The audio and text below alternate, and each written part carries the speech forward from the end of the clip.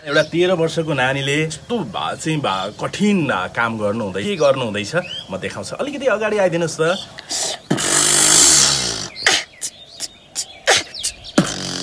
मलाई अब यिनको उमेर अनुसार हजुर। होइन यिनले अहिले जसरी सिकिरहेको छन् होइन अझै मेहनत गर्नुपर्छ। नमस्कार दर्शकबिन। म मदन सङ्ग्रोला यतिखेर हामी झापाको कन्काई नगरपालिका वडा नम्बर पाँच यो लालपानेदेखि ठ्याक्कै लालपाने चोकबाट अलिकति पूर्वपट्टि छौँ। यो बिहानी चोक भन्छ। यहाँ आज मसँग एकजना भाइ हुनुहुन्छ सानो तेह्र वर्षको समीर कडेल हुनुहुन्छ। समीर कडेलसँग एउटा अद्भुत कला रहेछ।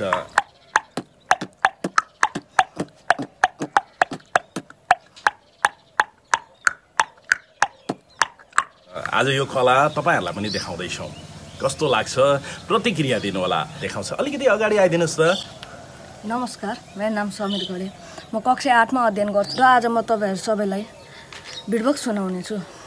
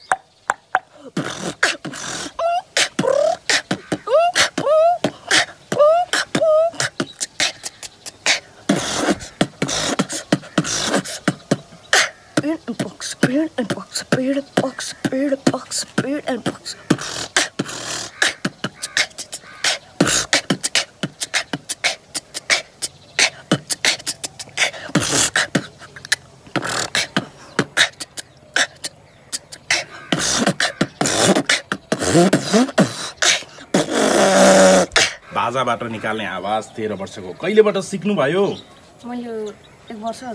एक वर्ष जति भयो। कसरी के हेरेर सिक्नुभयो कि आफै कि?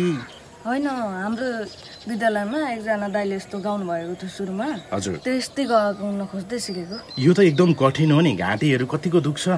सास फेर्न चाहिँ गाह्रो हुन्छ त्यो बेला। अरू बेला चाहिँ दुख्दैन त्यस्तो हुँदैन। सानो भाइ हुनुहुन्छ धेरै कुराहरू सिक्नु हुँदैछ।